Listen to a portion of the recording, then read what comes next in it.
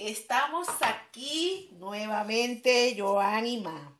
Vamos a hacer algunas recetas con harina de maíz. Esta es harina de maíz. Lo que me estáis viendo ponerle es sal, ¿vale? Un poquito de sal. Vamos a hacer hoy unas arepas. Arepas con queso. ¿De acuerdo? Entonces, yo tengo aquí un queso que os voy a mostrar que es casero porque lo hizo mi madre. Le encanta hacer quesos. Ahora os lo enseño. Este queso, ¿vale? Entonces, le pongo este poco de queso así, esta poca cantidad, porque lo primero que vamos a hacer es amasar, lo mezclamos y ponemos, ¿lo veis? Así, a calentar un poquito de agua. Aquí. Ahí. Como esto va súper rápido, voy a buscar el otro queso que le voy a poner luego. Porque a mí me gusta hacerlo así de esta manera. Primero pongo un queso y amaso. ¿Me estáis viendo? Para después ponerle otro queso. Normalmente le pongo el mismo queso, pero como esta vez tenía muy poco, porque me encanta el queso que hace mi mamá, me lo he comido, ¿vale?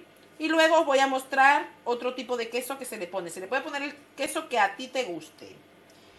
Normalmente suelen ser semicurado. O un queso que venden que es parecido al queso colombiano, que es, es como un queso fresco pero más más durito que el queso fresco, ¿de acuerdo? Bueno, cuando el agua esté caliente, vamos a parar un momentito para esperar que el agua esté caliente, que esto es lo que pasa con los directos. Tengo las manos limpias, yo pruebo. Tiene que ser un agua calentita, mira, sí, perfecto. Un agua que esté calentita, pero que la puedas eh, mantener el calor, como ahora. O que mm, sabéis que las, los, las cocinas de inducción, ¿lo veis? Las cocinas de inducción se calientan rapidísimo. Vas echando poco a poco agua hasta tener la consistencia, la mano bien limpia, ya lo sabéis, y vais mezclando. Mezclando, todavía le falta agua. Le pones más agua y sigues mezclando. Estas son las típicas arepas que puedes hacer para comer, para merendar, para cenar. Y en nuestros países y en la mayoría de Sudamérica e incluso para desayunar. Es más, se hacen más para desayunar que para otra cosa. ¿Lo veis viendo? Lo vais viendo aquí, va teniendo consistencia y vas echando. Yo es que como ya lo tengo más o menos calculado, si os dais cuenta, no me va ni a faltar ni a sobrar agua. Al principio vosotros os falta o sobra, pero no, yo lo tengo bastante calculado. Y la harina estará perfecta en el momento en el que ya no te quede nada en las manos, que esté prácticamente con una consistencia, em, a ver la palabra si me sale. Homogénea. Homogénea, ay que me la han chivado, eso es. Homogénea, se amasa, ahí, ¿lo veis? Ya no necesita nada más de agua. Pero sí que podéis optar por una cosa o ir mojando las manos así para que empiecen a, a despegarse ya todo, ¿vale? Ya va teniendo la consistencia que quiero. Se puede hacer eso o esperar un momento. O con un aceitero también un poquito. Un poquito de aceite nada más. ¿Ves? Ya tiene la consistencia. Ya tiene un poquito de, queso que habéis visto que yo le he puesto antes. Normalmente le pongo la mitad de lo que voy a poner. Primero la amaso con ese poco de queso. Y después cuando ya está así, voy a buscar el queso, ¿vale? Vamos a, cortar ahora para buscar el queso, para mostrarlos y cómo seguimos. Bueno, este es el queso que venden, si lo veis, me preguntáis por privado por qué no voy a hacer publicidad gratuita. Me preguntáis por privado y yo os contaré dónde consigo este queso, que salen buenísima. Entonces, se parte una vez Normalmente pongo la mitad al principio y la otra mitad en la siguiente amasada. Es mi forma de hacerlo, cada quien lo hace como quiera. ¿eh? Vienen dos quesitos de esa forma, en una latita, ¿vale? En un gran supermercado. Yo los contaré. ¿Por qué lo hago así? Bueno, porque si lo amaso con el agua tibia parece como que desaparece el queso. De esta manera tiene un poquito de queso que está dentro con el mezclado al principio y la siguiente se, queda con el así con, con los trozos de queso. A mí me gusta. Es mi forma, la forma de mayo. Sabéis que este es Joan Ma. Joan está ahora estudiando. En, en, unos días os lo voy a enseñar para que veáis cómo ha crecido, cómo está de grande. Hemos parado durante un montón de tiempo sin hacer recetas. Os pido disculpa, pero bueno, a veces las cosas vienen así. He tenido algunas cosas personales. Pero aquí estamos otra vez marcando, dando nuestras recetitas. Gracias por el apoyo. ¿Lo veis? Perfecto. Ahora vamos a parar para buscar cómo vamos a hacer las arepas, ¿de acuerdo? Que hay varias formas. Para... Bueno, yo normalmente tengo esta, esta tabla que después la he estado buscando para regalarle una, a una amiga mía y no la he encontrado. Si la encontráis, perfecto, porque es transparente y puedes ver hasta dónde lo chafas. Luego, el cuchillo, que está sucio de la misma harina, se abre, cogéis una bolsita, ¿vale? Así. Así.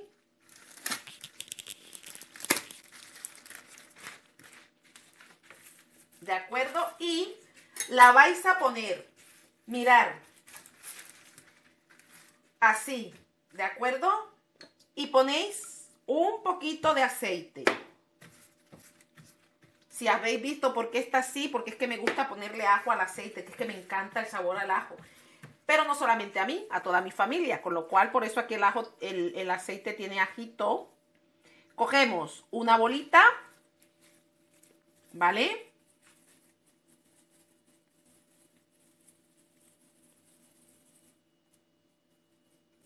Así. La ponéis. Tenéis que taparla dejando espacio de aquí y de aquí de los lados. Es decir, no la podéis poner así porque si se abre se chafa. Entonces, así a la mitad. Y como veréis la ventaja de esto, porque aquí veis más o menos, ¿lo veis? Dónde se chafa. Para mí eso es perfecto. Entonces, yo tengo este molde. Se coge este molde para que salgan más o menos todas del mismo tamaño. Que no lo tenéis, no pasa nada, lo hacéis a ojo. Esto es ya porque a mí me gusta así. Arepa con queso, que las podéis, esto es el queso que tiene y se ha quedado marcada. Luego se puede hacer al horno, se pueden hacer fritas. Cada día os voy a hacer una manera distinta de, de utilizar la harina.